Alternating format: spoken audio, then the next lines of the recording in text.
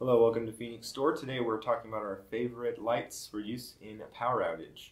Uh, we've got first the CL30R lantern and the LD42. So uh, first the CL30R is a great choice for a power outage because of course um, if the lights are out you need light to really fill up a room. Uh, so a lantern's a great option for that where instead of a flashlight which is uh, more focused and directed. Uh, the CL30R has a 650 lumen maximum output and five different output levels.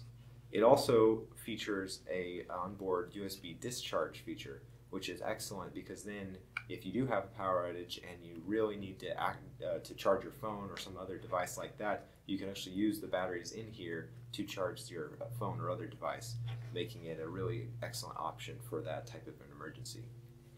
The Fenix LD42 that we have here is a great choice because it offers a good, very good amount of light, a 1000 lumen output um, off of only four AA batteries.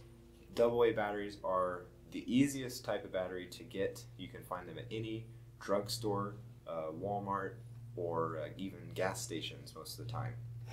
meaning that even if you've had a power outage for a while and stores are starting to get cleaned out, AA batteries are often still going to be available. Um, it has the rotary switch with five different output levels with a 1000 lumen maximum output. And even on the low output, it still produces a good amount of light that can be used uh, to preserve that battery life. So you're not going through batteries a whole lot. Uh, that uh, those are our two recommendations for our favorite power outage flashlights. And uh, thank you very much for joining us today.